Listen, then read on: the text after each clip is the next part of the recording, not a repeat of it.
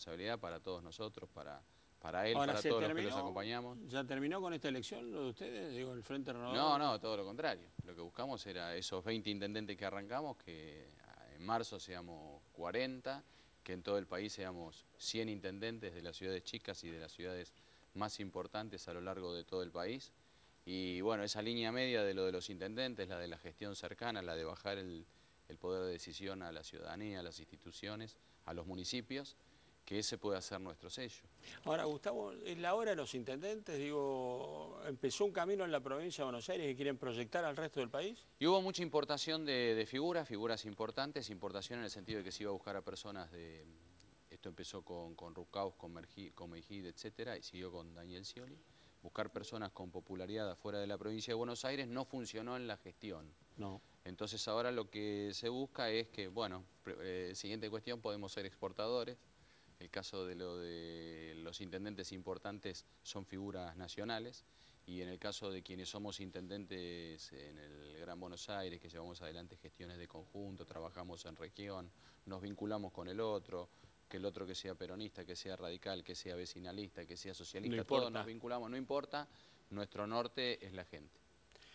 Ahora, más cuando le, decían, bueno, el núcleo, la gente vino, el núcleo son los 20 intendentes sí, sí, sí, Y nunca lo sacaron de eso. Y nunca lo sacaron de eso. Sí, sí, sí. ¿Y es así? sí, sí, faltaban horas y, dijimos, ¿y dónde es el, para saber los cómputos, el escrutinio y todo? Y él dijo, es en el Tigre.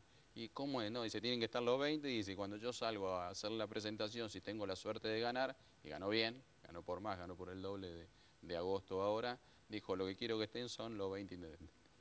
¿Cómo está el oficialismo hoy, el oficialismo nacional? ¿Cómo lo ve?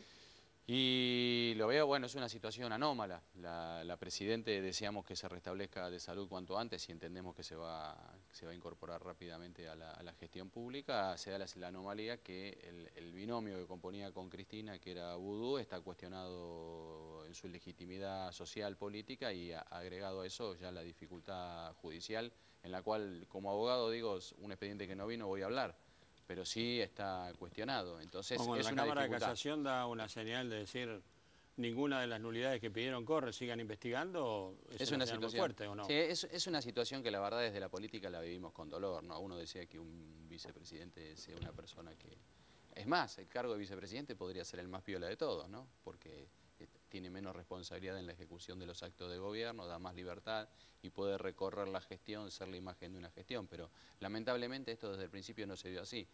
Hicieron una buena elección en el 2011 y a los 60 días, 50 días ya estaba la causa esta. Ahora, qué, qué, qué, mal momento para el oficialismo, ¿no? La enfermedad de Cristina y ponerlo a vudú, resistido por los propios sectores internos, que lo mostraban, lo sacaban, lo ponían, o que encabece un festejo que no se entiende. Hay un caso que, es, el, de esta semana. Randazo, cuando le preguntan cómo toma la decisión que tiene que tomar después de las tragedias que siguen ocurriendo, y él dice, y le preguntó a la presidenta, obviamente que no, le preguntó al vicepresidente en ejercicio de la presidencia, dijo que no, o sea, tomó la decisión porque tenía que tomar la decisión. ¿Y qué va a pasar con Massa y ustedes a partir de ahora? El Frente Renovador es un espacio nuevo, es un espacio plural. fuera del justicialismo. Es un espacio plural. Fuera del justicialismo. Tiene fuertísimo... A ver, sí, pero, digo, no lo veo compitiendo dentro del PJ. Esto yo lo que veo es que el 80% del PJ va a estar en el frente que, está convocando Sergio y que una parte importante de las distintas extracciones políticas del campo popular se están incorporando ahí.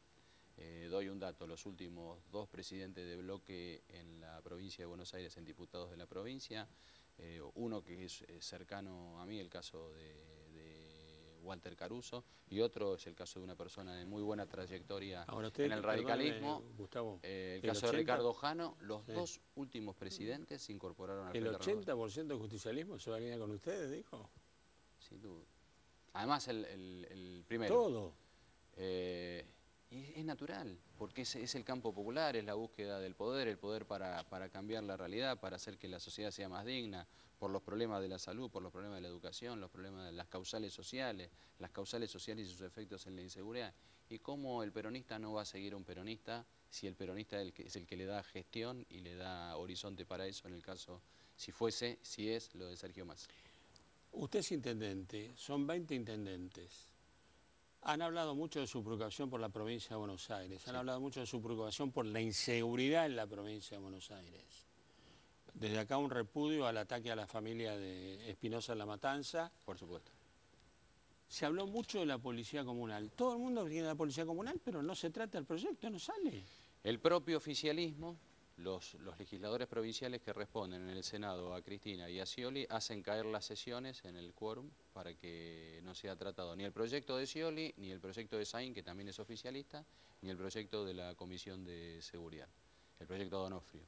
Eso es una locura, porque la gente está deseosa. A ver, yo no, no soy una persona que oculto, ni muchísimo menos. Nosotros en este momento estamos velando a un vecino, a un amigo de San Isidro, que en una entradera a la casa, lo mataron. el auto no? no, ni, siquiera, no, no hubo oportunidad ni con la cámara, ni con el patrullaje de nada. Pasaron, no llegó a hacer nada la víctima. Y lo mataron. Y lo mataron. Ya están identificados, se están haciendo los allanamientos. O sea, desde el punto de vista de tecnología y patrullaje, sí, ya actuaron, pero no dieron oportunidad. Eh, eso no, no puede esperar 60 días más, esperar que haya otra composición. Hay que enfrentar la realidad y en el Senado debe ser tratado esto, que es cómo tener más policía a través de la policía comunal y que haya un control de gestión, que eso es lo que, lo que nosotros planteamos y lo, plantea bien Sergio, cuando él dice, al haber en la relación con la gente policía provincial y policía comunal autónoma, también hay un control de gestión entre las dos. Gustavo, le voy a dar dos ejemplos que a mí me impactaron mucho y seguramente usted también. Villa Celina, la gente se reúne a protestar porque mataron a un chico, ladrones, y la policía termina reprimiendo a la gente. El otro día en José León Suárez, creo que fue, ¿no? Que, eh, una, situación totalmente... con un adolescente que, según el padre, lo mataron las bandas del Paco, los chicos van a protestar, los reprimen, los chicos incendian y, termina de vuelta reprimiendo a la gente. No queda más policía, no hubo política de seguridad, se la fue vaciando. Y el cambio es que tiene que haber gestión. Primero, un plan nacional. La provincia de Buenos Aires está dentro de un plan nacional, no hay otra manera, porque de distintas maneras la mitad del país, ya sea en el conurbano o conurbano interior en la mitad del país. Dentro de ese plan nacional, lo primero que requiere un presidente de la nación es que haya gestión adentro de la provincia de Buenos Aires. Si no hay gestión, ocurren las cosas que ocurren. Una cosa es la imagen, una cosa es el marketing político y otra cosa es la realidad de la gente. El que mañana a la mañana tiene que salir a trabajar y tiene que hacer una hora de transporte y tal vez son tres horas y que después tiene el riesgo al momento de volver, el que deja la casa y no sabe qué es lo que pasa con su casa, con sus hijos, la gente, los sectores medios obreros que huyen de la educación pública buscando la educación privada que le dé una oportunidad o la educación parroquial que en buena hora existen. Gustavo, fue un gusto, ¿eh? gracias por haber venido. ¿eh? Gracias por la atención. Celebramos el otro día 30 años de democracia. Parece mucho, pero no tanto. La democracia es una práctica que hay que consolidar día a día. Nos pareció oportuno invitar a Ricardo Alfonsín. Ricardo, buenas noches, ¿cómo le va? ¿Cómo le va, Charlie? Un gusto verlo. ¿Cómo andamos?